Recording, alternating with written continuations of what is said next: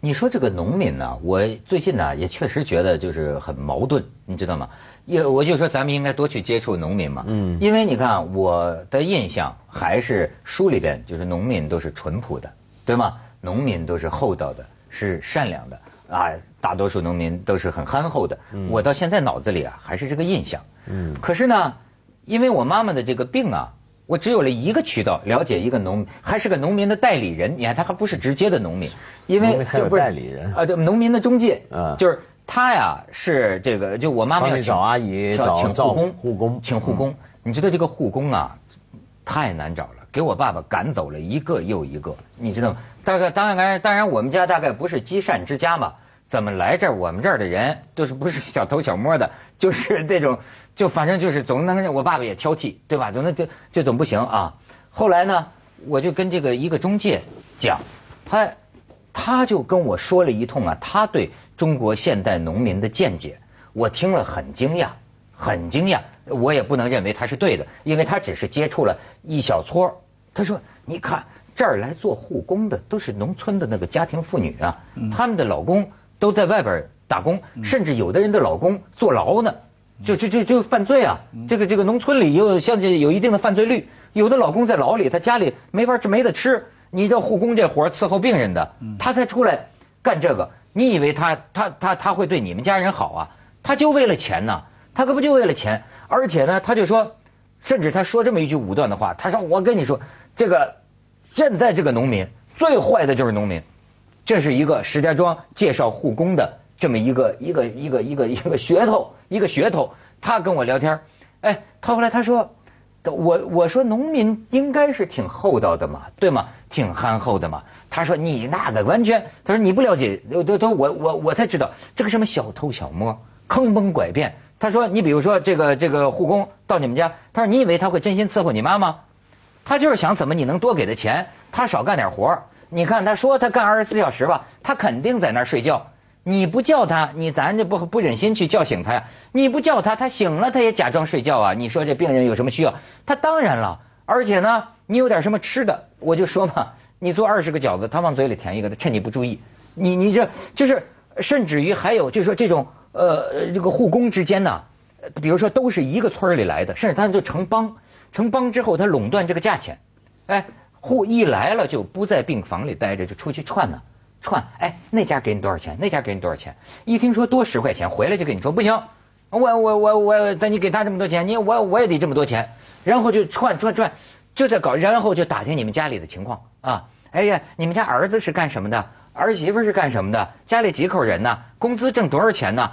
你知道吗？就然后这个这个病房和病房之间这个护工啊，当然我说的是仅就是我所见闻的。我不敢说，我我代表了多多多多么的多数，但是我是说，你看，我听到了一个让我觉得很惊讶的印象。这个我做过几年农民，啊，我在乡下生活过好几年，在我生命非常重要的一段时间，我在农村度过的。你讲那些事情，我相信都会存在。对，没错。但是这些事情也不是农民的特点。所有各个阶级、各个工种的人，你上到什么高企主这个高等的主管啊、领导，下到一般的外国人什么，他们都会要想挣得多一点，都想要生活的好一点。如果不知道，他都想有二十个馄饨，我肚子饿，我吃一个，这这这是非常正常。但是为什么我们一般来说农民比较老实、比较善良、比较淳朴，也是因为原来他们的生活环境就在一个村里。嗯，农民的身份是只有一个身份的，只有我们现代说法叫 one identity，就是说你是王二婶，你一天二十四小时，嗯嗯，所以你今天要是偷了一个馄饨，或者明天你跟隔壁的李大哥有有一腿的话，你你永远所有的人都知道了，所以因为所有人都是熟人，所以农民相对来说真是比较老实，因为他他没有改错、隐瞒跟跟重新做人的机会。他做一件事情就谁都知道，所以农民不会用什么 LV，你农民用一个很贵的 LV 回来被人家笑死了，你家里的猪都养不好了，你还你你还做什么芙蓉姐呢？对不对？所以农民是这样生活的。现在的农民是出现两个情况了，第一，他突然到了城里了，到了城里就意味着他周围有很多人他可以不认识了，他做的事情人家不知道他是谁了。你看这一来是跟他原来的环境很不一样。对，监督。哎，本来隔壁人家的鸡我也是想拿的，但是你知道厚道，我怎么能拿呢？我拿了这个，明天大家知道我这在村里怎么做人的，我哪有脸面做人？现在他到了城里，发现我明天是可以不在这里的。我今天在罗湖，我明天可以去南山，鬼都找不到我了。但城里人呢？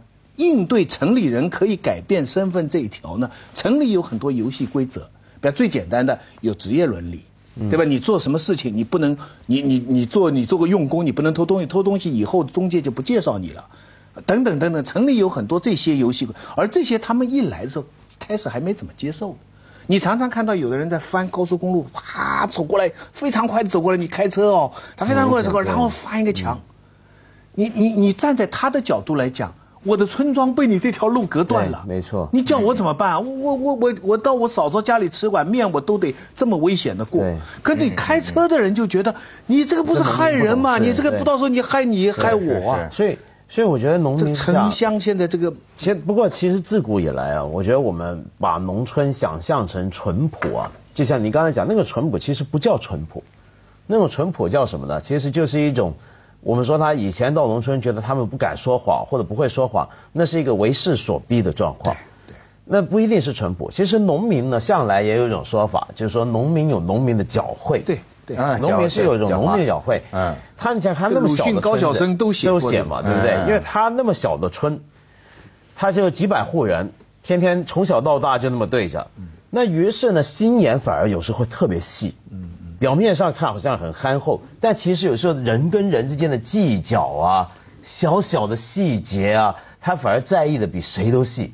嗯，城里人有时候相比起来反而比较大度一点，因为你顾的事儿多嘛。嗯，而且我明天可能就跟你不见了嘛。对，你有些事情就不计较我们是个合约关系嘛。但他们会计较的多。可是我想讲就是这种。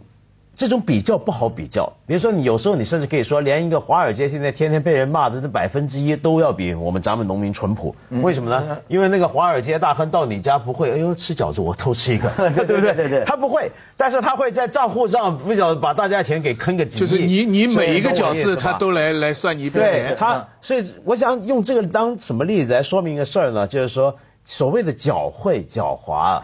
是不同的人，不同的阶级，不同的地区有不同的方式。我城里人有城里人的狡猾，农村有农村的狡猾，谁都别说这谁纯。我明白了，就是说根儿上来讲，全都是农民，窃钩者诛，窃国者侯，没错。